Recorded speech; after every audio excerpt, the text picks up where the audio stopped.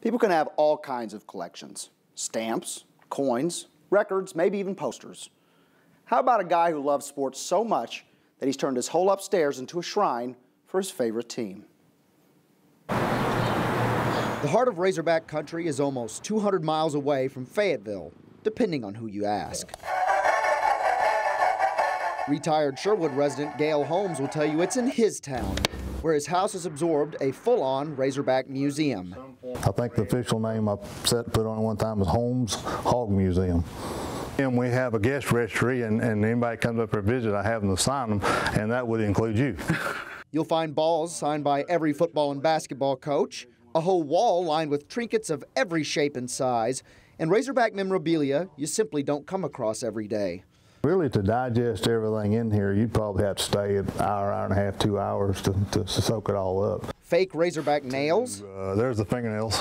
Toys. There's even handmade items that have been seen on a national scale. We went over to ABC Good Morning America early one morning, started getting text messages from, from folks back home. So we just saw you on TV. It all started when Gayle retired and brought the Razorback stuff he'd been collecting at his work desk home with him. It was, had a lot of stuff in it, and I was going, oh no, when he retires, he's going to bring all that home. What are we going to do? So that's the yearbooks. Um, quite, a, quite a deal there. There's in his upstairs space, he began adding to the collection. There's a. Um, 118 yearbooks, and I have all but nine of them. Even a yearbook that has a familiar face. Man, I was looking slummy that day. a Razorback fan by heart, even when he was scoring touchdowns for another school in the same state. I went to school at uh, Conway and was a uh, SCA Bear back in those days, but I was still a Hog fan. Now living out a Razorback fan's wildest dream. I've been to 90 straight football games, consecutive games, home and away. An adventure, making the homes upstairs worth more than a pretty penny. Currently, it comes up to an evaluation of that amount right there.